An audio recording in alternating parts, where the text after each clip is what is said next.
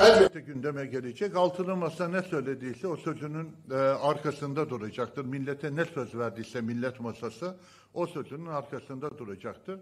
Biz zaten bir takvim açıkladık.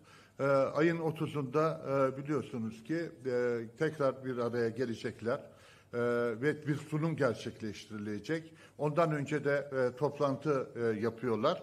E, Ocak ayından sonra bütün bunları açıkladıktan sonra e, adayı da açıklayacaklar E, ve böylece e, milletimiz zaten e, sadece bir adayı değil bir iradeyi bekliyor ama Tayyip Erdoğan'ın da çok merak ettiği aday da açıklanmış olacak.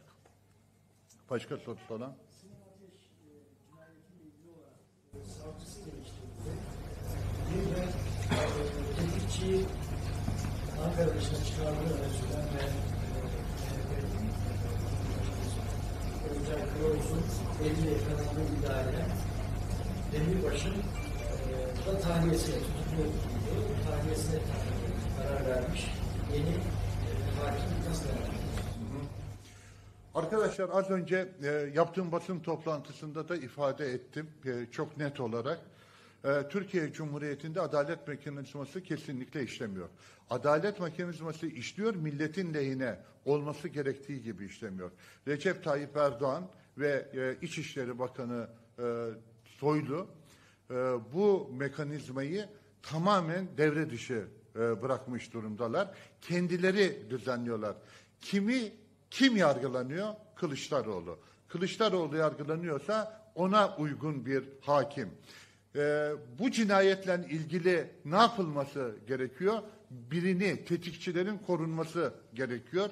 O zaman tetikçileri koruyabilecek bir kişi, yani oraya öyle bir savcı gönderilmesi gerekiyor.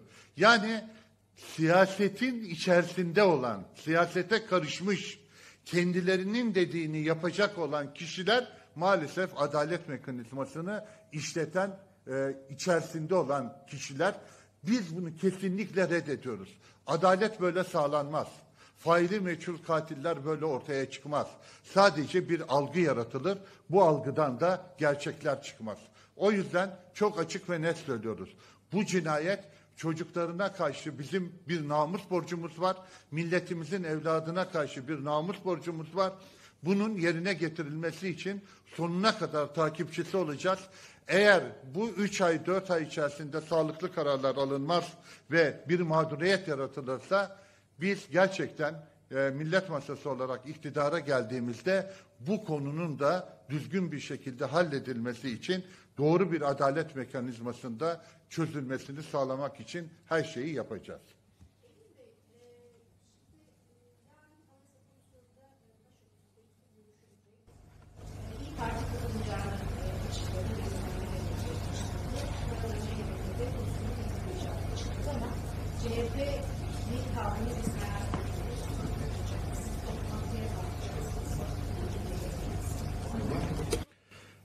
Teşekkür ederim. Bununla ilgili görüşmelerimiz devam ediyor. Daha önceden de görüşmelerimiz devam ediyordu. İlk önce bir ayrıntıyı netleştirelim. Biz Türkiye'de yıllardan beri kadının kıyafeti siyasete alet edildi. Yıllardan beri herkes, herkes üzerine vazife olmayan kişiler dahil olmak üzere kadının kıyafetiyle ilgili yorumlar yaptılar ve bu siyasetin belli bir mekanizması içerisinde ana gündem konusu oldu. Biz bunun doğru olmadığını, bunun artık bitirilmesi gerektiğini düşündük. Liderimiz Kemal Kılıçdaroğlu bununla ilgili. Yani kadının kılık kıyafeti artık siyasete malzeme olmasın.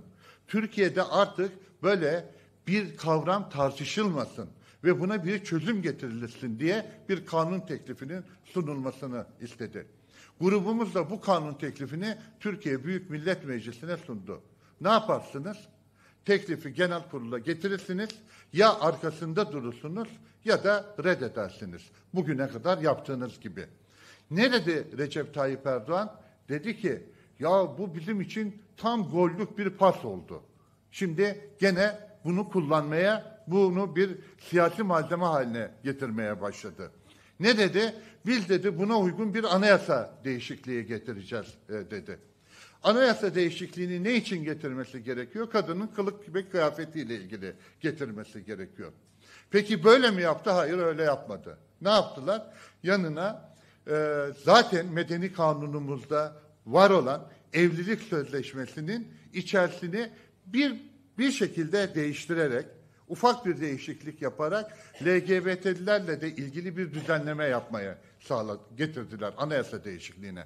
Sanki Türkiye'de korkunç bir patlama var bu konuda. Türkiye'nin en önemli sorunu bu. Türkiye'de işsizlik almış, enflasyon almış, ekonomi başına almış gidiyor.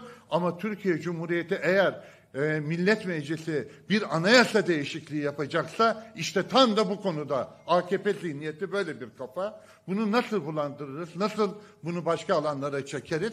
Böyle bir şey yapalım dediler, getirdiler. Bu samimi bir yaklaşım mı? Bu samimi bir yaklaşım değil. Cumhuriyet Halk Partisi dün ne söylüyorsa bugün de aynısını söylüyor. Ama başka bir şey var. Biz millet masası olarak, altılı ittifak olarak e, bir bildirgenin altına da imza attık. Dedik ki bu konuda da tutum e, birliği olacak. Yani e, kadının kılık kıyafetiyle de ilgili bir e, tutum birlikteliği olacak. İşte o tutum birlikteliği için bugün akşam saatlerine kadar çalışmalar devam edecek. O tutum birlikteliği için bu çalışmalar neticelendiğinde yarınki pozisyonumuz netleşmiş olacak. Evet. Başka sorusu olan yok.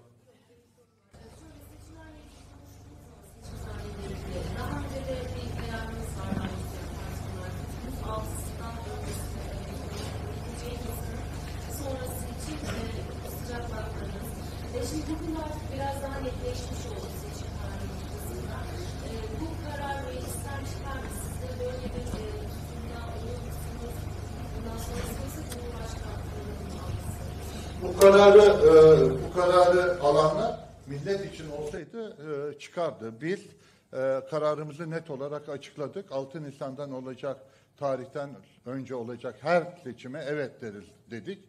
E, şimdi e, onlar kendileri için bir seçim tarihi belirliyorlar.